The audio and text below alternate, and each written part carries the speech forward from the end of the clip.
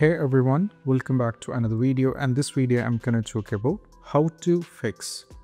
If you're having a trouble with EA Sports FC 26 controller or gamepad is not working on your PC fix controller issue with EA Sports FC 26 and if you're having the trouble with this how we can fix this. So let me check it. Let's try one by one. First one for the Steam users we can disable or enable the Steam input so this is for the Steam users. For me, I'm having the game on the Steam. I pre-purchased it. So what I need to do is just go over here, I click and go to the properties. Go to installed file. Sorry, not go to general. Sorry, not general. Go to controller. Now go over here.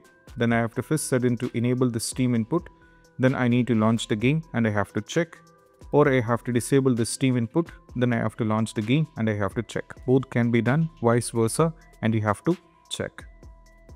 Next step is all about make sure to disconnect peripherals such as wired keyboard. If you're using the wired keyboard, you have to disconnect it. Any other joystick, you have to disconnect it. Controllers, you have to disconnect, unplug all the HOTAS, wheels, sim wheels, pedals, mouse, Razer, Tartarus, disconnect all the additional USB adapter connected to the PC. If you have any virtual controller, you have to disable and uninstall them. Just you need to disconnect arcade stick, disconnect anything that act as a controller to the PC. After everything is disconnected, we can just launch the game. If you're on the Steam, launch the game from here. And if you're on this EA app, you can go over here, then you can launch the game from here. Now, after the game is successfully launched, you can just go back, then you can check that might work. Next one, we need to disconnect and reconnect the controller. This is very important. So if you're having any additional control in the sense, if it is wired or whatever it is, just disconnect it then you have to reconnect the controller controller back. And afterwards if you're already in the game and if you're having the trouble just close the game first then disconnect and reconnect the controller. Afterwards we need to restart. For example if you're on the ea app you have to restart it from here. It means you have to launch it from here. And if you're on the steam you can launch the game once again and you can check. That might work because i, I have seen few comments in the forums where this particular step did work in for many users. You can try this out as well Next one is all about we need to go for non-Steam users. That is add FC26 to the C, Steam. So uh, if you don't have it, uh, this is for the non-Steam users. What you need to do is just go to this particular link. You have to download the Steam. Then make sure that you create an account or you signed into the Steam. Then once you get into the Steam, you can get the game from the Steam itself. If you go over here, search at the top EA sports fc26 if we click over here at the top and click on this one now you can see we have this game. This is actually uh, not released but uh, i did purchase it for this particular amount. That is around uh, uh you know uh, 90 dollars where i purchased this ahead where i can play the game with access before its release. You have to download it from here. After downloading the game from the steam then make sure FC26 EA app is closed. For the non-Steam users, after creating an account and purchasing the game, we can just go back. While before launching the game, make sure that you close the EA app. If the EA app is in the background, you have to close it. Then you have to check. Next step is all about for the non-Steam users, add EA desktop app to the Steam. Then launch EA app from the Steam, then launch the FC26.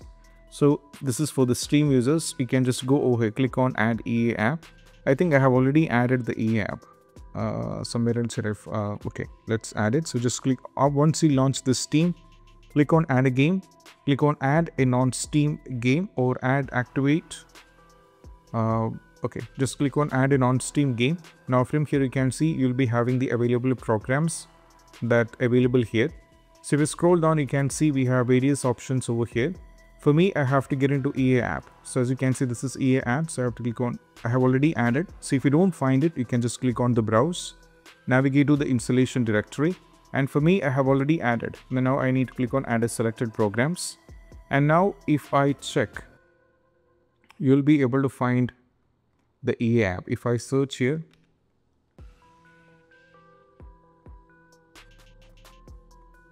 it's okay. You can do one thing first I need to know where the game is, I mean, this app is installed. So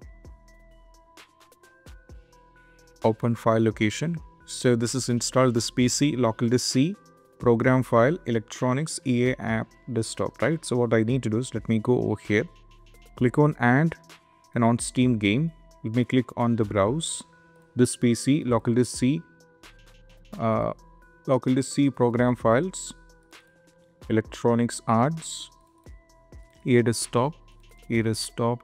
Now I need to scroll down. This is the launcher. So let me select this one, click on open and I have to click on add a selected program. Now you can see I'm having EA launcher here. Now I need to first launch it. Then within the EA app, I'll be having the game Steam within the EA app, which I need to launch. Then I have to check that it worked for many. So we can try this out. Next one, EA app users go in task manager and close the Steam. So this is for if you're, this is for the EA app users. If you're using the game, I mean, if you're trying to play the game on EA app, first of all, you have to go over here, close the Steam. Now go over here, search for task manager and you have to click on the task manager.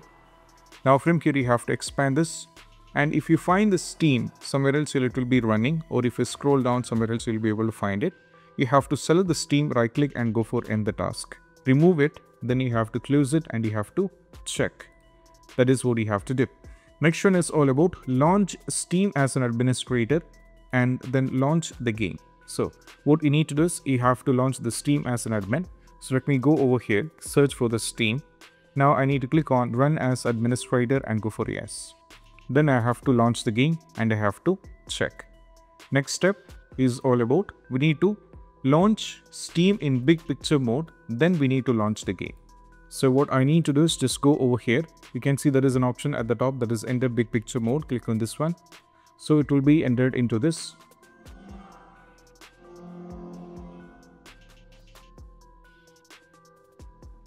Now from here you can select the game. Now from here you can launch it and you can check and that might work as well. That is also very important. So you can do in this way. So once you launch the game, after after once you exit the big picture mode, like you are playing the game in the big picture mode, and if you wanted to exit, this is what you have to do. Just click on the Steam, click on Power. There is an option called Exit Big Picture Mode. Click on this one, and it will be Exit.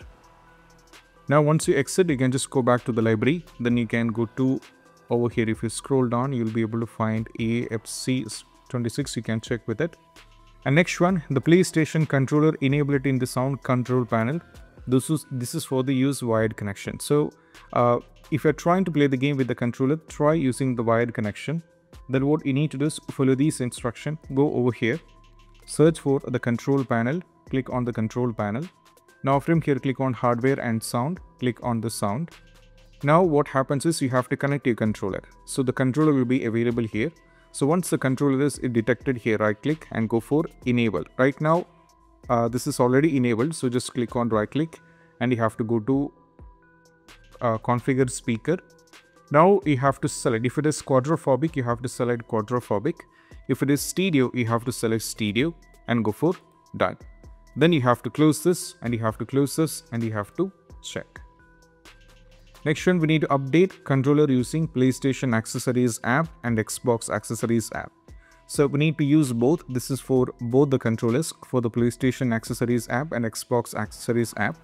So what you need to do is you can just go over here. For me, I don't have both. So even though I'll show you how to do this, so just go over here, search for the Microsoft Store. Now from here in the Microsoft Store, what you need to do is just go over here, search for Xbox Accessories uh, you can click on Xbox accessories app. Now what you need to do is you just need to click on get. So you have to download it. After successfully downloading, once you get into the game, you can just go, okay, this is how it looks like. Now from here, you will be having an option to update the app. You have to update it. Then you can check that might work as well. You have to update it and you have to check. Next one is all about uh, if you're using, always try using the wired controller. That is very important for uh, that is very important. You should be always using the wired controller. Never depends on uh, anything called if I try to open it says this is for the Xbox. I have to connect the controller. I don't have the controller. So make sure if you're having the controller you can update from here. After updating the controller you can check it back. So always try using the uh, wired controller whenever you are trying to play the game like EA Sports FC 26 or 25 you have to use the wired controller, not wireless. And these are the steps and I hope this quick video is helpful. That's it. Bye bye.